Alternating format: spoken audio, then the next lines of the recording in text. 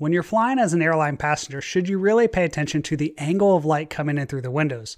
You know, most pilots like me fly hundreds of flights a year, and when we're sitting in the back, we notice a lot of little details that most passengers don't pay attention to. So when I saw a video claiming to reveal some of those secrets, and I realized a lot of what they were saying is wrong, I figured it's about time that I share the truth about what no one tells airline passengers, including the most important things that pilots actually pay attention to when they're sitting in the back.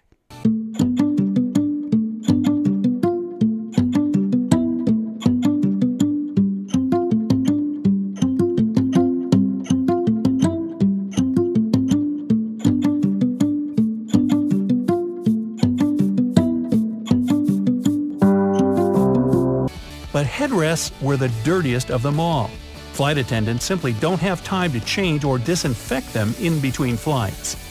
All right, they made this video pre COVID, so a lot of things have definitely changed. First of all, there's a whole team of cleaners that come on the plane in between each flight to do things like wipe down the headrests, the seats, the tray tables, and all that stuff. So I don't think that the headrest is actually the dirtiest place on the plane. The truth is that the seats on the airplane are actually much cleaner than all those seats in the airport terminal that you sit in while you're waiting for the plane. 7. Delay messages. There's probably no air passenger who has never experienced some kind of a delay. Pilots, though, get frustrated when after spending more than a half an hour on the taxiway, they're still in the dark about the reasons for the delay. Okay, this is pretty accurate. For a pilot sitting in the back, they can usually tell when a delay on the ground is taking longer than normal, and that can be very frustrating, especially if they're just trying to get home. However, when it comes to delays, here's the pro tip that pilots use that no one tells you about. Before they even go to the airport, most pilots are going to take a look at an app such as Flight View to figure out the details on where that plane is coming from and if it departed on time. Pilots know that most airlines need about an hour between flights to get the passengers off, clean the plane, and load the passengers for the next departure. So if a plane was late on a previous flight, there's a chance that your flight might be delayed. And if you figure out that information before the airline tells you, there's a chance you might get a head start on getting in the customer service line. 6. In flight announcements. If you're a regular passenger, it may sometimes seem to you that pilots and flight attendants communicate in another language, so many secret codes they use. But a pilot flying in a passenger seat knows all these phrases by heart. By listening to the crew interaction, they can understand what's happening during the flight and whether something has gone wrong. All right, I promise you that the pilots sitting in the back are not paying attention to the conversation that the flight attendants are having with each other.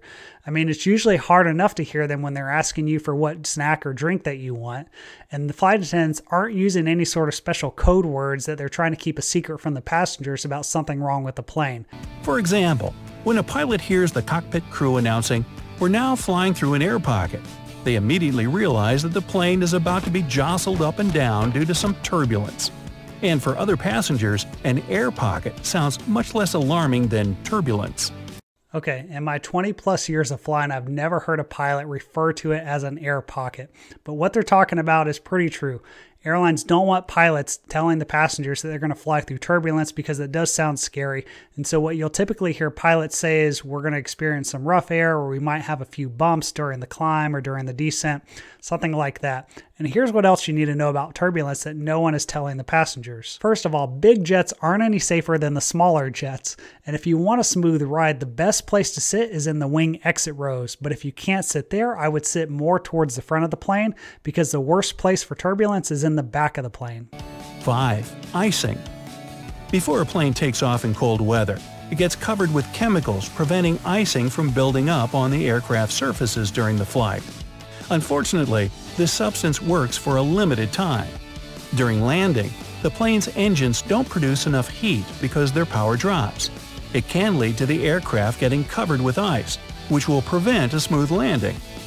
Okay, first of all, if the aircraft is getting completely covered with ice while it's flying around, you've got a lot more to worry about than whether you're going to have a smooth landing because basically icing is extremely dangerous and if it's covering the aircraft and blocking the control surfaces, that plane is likely going to fall out of the sky.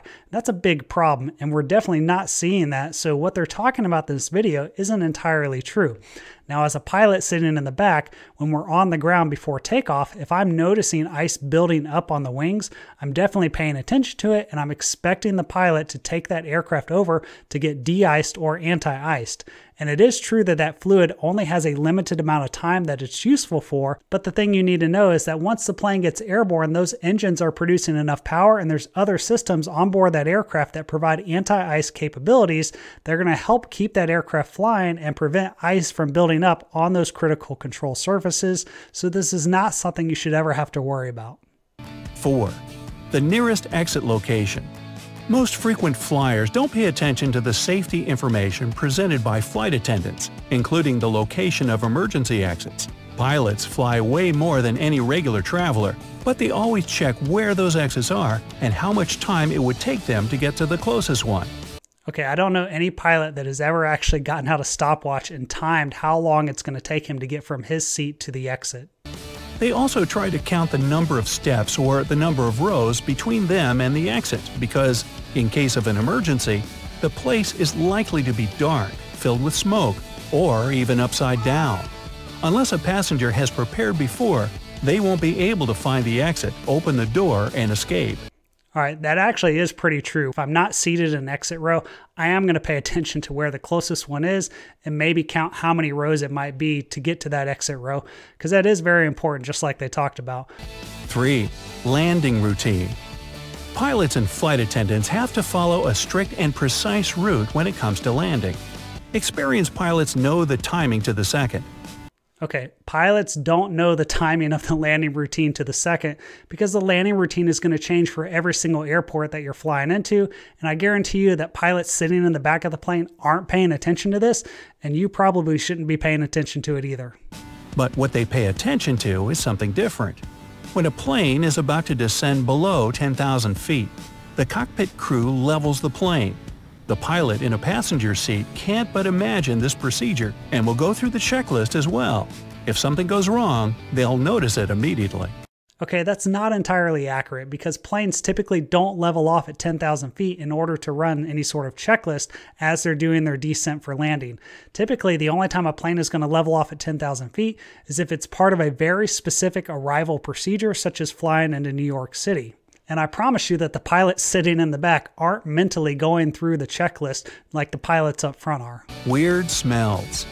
When a pilot is flying a plane, they can understand that everything's going as it should just by listening to the sounds the plane's making. A bizarre, unfamiliar sound is an obvious sign that something's gone wrong. While flying in a passenger seat, they can't rely on their ears because the cabin is mostly soundproof. Okay, honestly, the cabin isn't any more soundproof than the cockpit is, and most pilots that are sitting in the back usually have noise canceling headsets on because they fly on planes so much. They just don't like hearing that noise. They like to have more peace and quiet. And the truth that no one tells you is that any noises that are coming from the engine or the landing gear, in most cases, are almost always normal. If it's something really abnormal, chances are the passengers in the back are going to hear it before the guys sitting up front just because you're sitting closer to the engines and the landing gear. That's why pilots pay attention to the second most important sign of problems the smell. Some smells, such as superheated bleed air, fuel, or hydraulic fluid, are easily recognizable for a professional. Typically, where you're going to notice these smells is when you're sitting on the ground, especially if the APU is running. That's the auxiliary power unit, and that's the motor that provides electrical power and air conditioning before the engines are started. And pilots know all too well that such scents can hint that there are some problems with the fuel storage systems or the engine. All right, to be honest, the only smell that pilots are really concerned about when they're sitting in the back is the odor coming from the person sitting next to you because they ate burritos last night. 1. The angle of the light. If the flight is during the day, an experienced pilot always pays attention to the angle between the plane window and the light coming through. They know that any difference in this angle means that the aircraft has suddenly changed direction. Weather conditions can prevent the plane from following its normal route. No, they don't pay attention to that. Most pilots that are flying in the back are usually just trying to catch a nap. The only thing I'd be worried about is if I was flying north and south and the sun went from one side of the plane to the other. That's obviously a sign that the plane is probably turned around, and then I would expect to hear an announcement from the captain pretty shortly. And if you enjoyed this video, then be sure to check out this other one here, and I'll see you next time on Pilot Debrief.